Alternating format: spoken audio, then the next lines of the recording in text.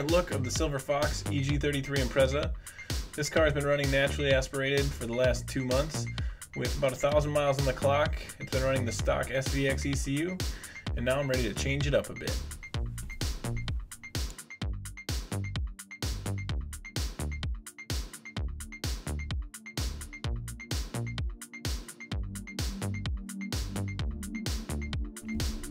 So here we are at the start of chapter 2 for the Silver Fox build.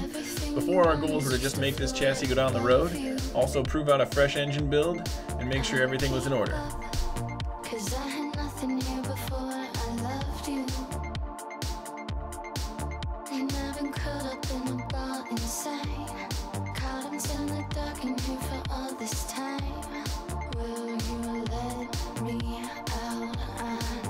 So now we set our sights on boosting this thing. That's going to require aftermarket ECU support, and that's exactly what today's video is all about. So the next thing that I started to work on was actually integrating the new ECU into the car. Now that I have the ECU soldered all up, I've actually been able to test it out. I now need to start working on integrating it into the chassis. So I'll just give you one last look at it here. Here is the Megasquirt 3 that I assembled myself. And uh, on this side you can see the actual MS3 has its connector down here. And this on top is the MS3X expansion board. And along with both of those, inside of here I do have the dual VR board for running the cam and crank trigger through. As reported on some of the forums, um, the signal can be a little bit too noisy for the Megasquirt, so I went ahead as the Megasquirt EG33 forefathers have uh, assured me it should work. So. so this is the current state of the interior. Haven't really put anything back together in here yet. Obviously that's because I am going to put the aftermarket ECU in. But under here, kind of shoddily, the current ECU is in place. And so, kind of had it zip tied there. But you can see I do have the connectors for the MS3 and the MS3X. And as well as a big mess of wiring. So I'm to go ahead and pull this out and start connecting some more of the wires from the chassis to the Megasquirt harnesses.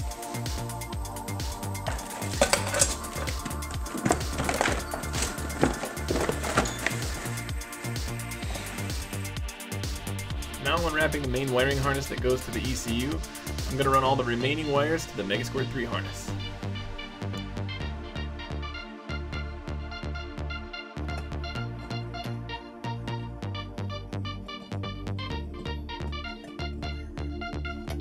I'm getting the stock SVX ECU out of the way, that way I can do a cleaner install of the MS3 harness.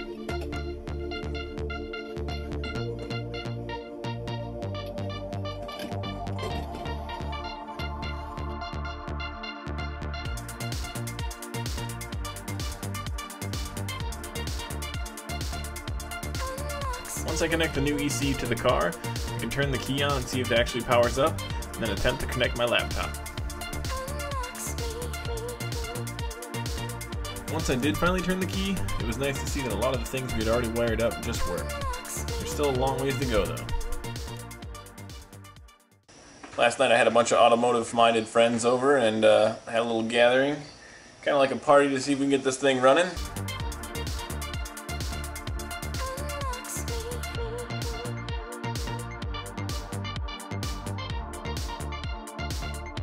We spent a lot of time um, looking at the wiring, spent a lot of time going through the software, making sure all the settings were correct.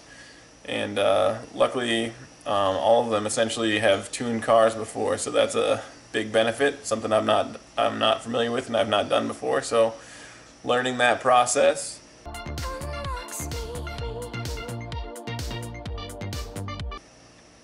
But we did have some problems with actually getting signal for ignition out of the car.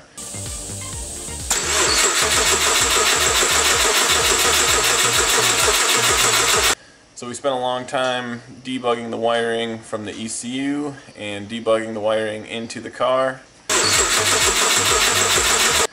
um, or into the engine bay rather, to figure out what was going on with the coils.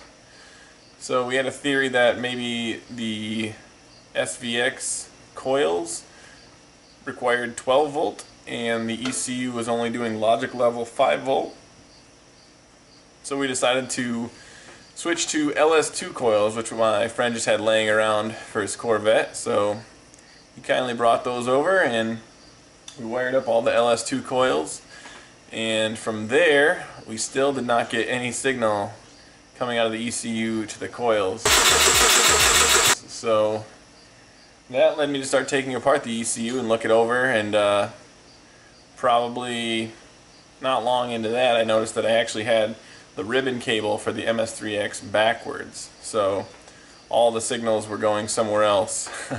Who knows where but not to the right place. So once we finally turned that around um, and uh, a lot of wiring up of those um, LS2 coils we actually did get this thing to fire up last night, which was a, a win. So pretty pumped about that. Um, here's the here's the video showing you what happened.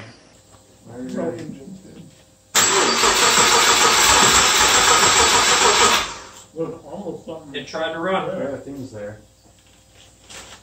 We burned a non-zero amount of gasoline.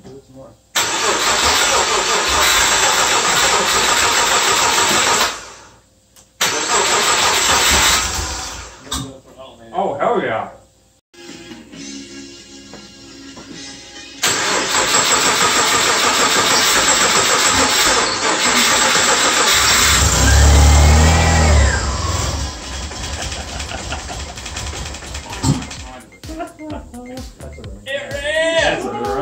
So beyond that, I'll just give you a little bit of a tour of uh, what's going on with the car right now. So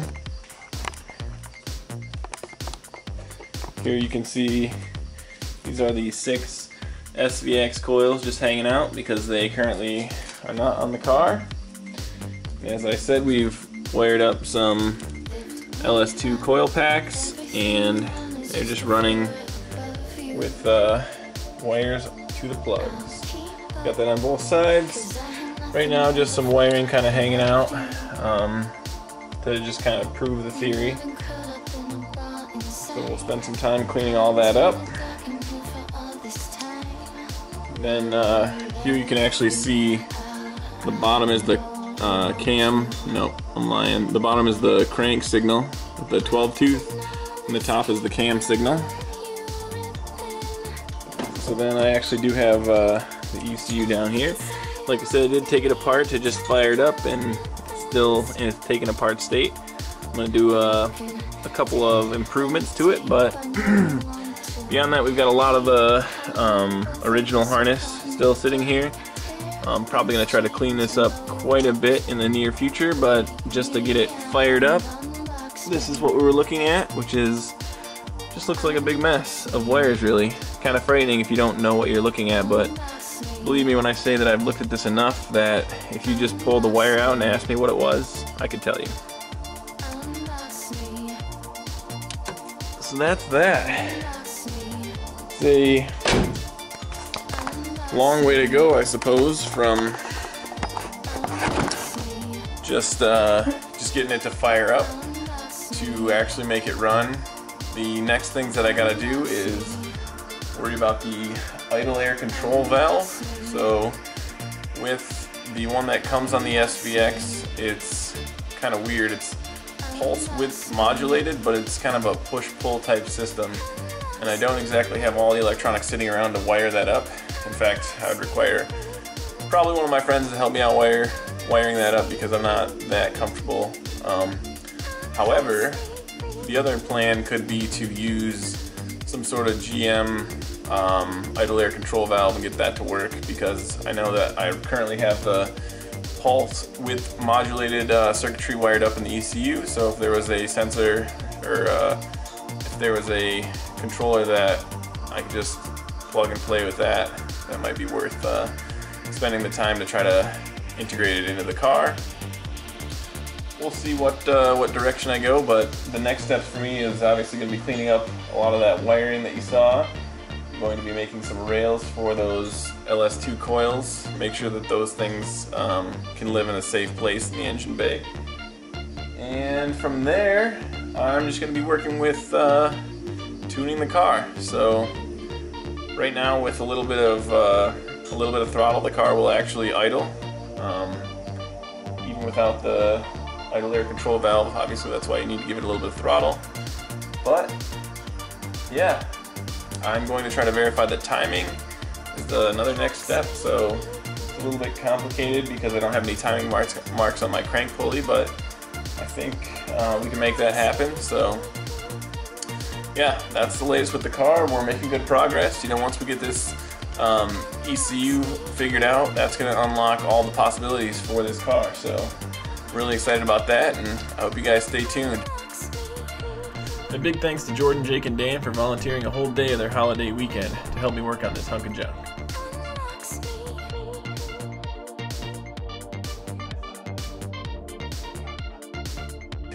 It hasn't been easy. Easy on cars.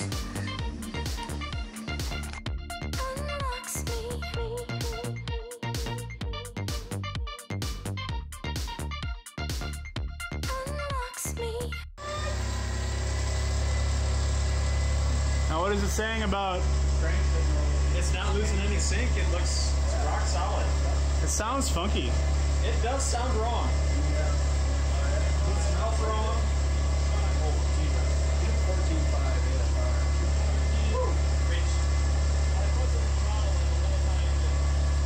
Yeah.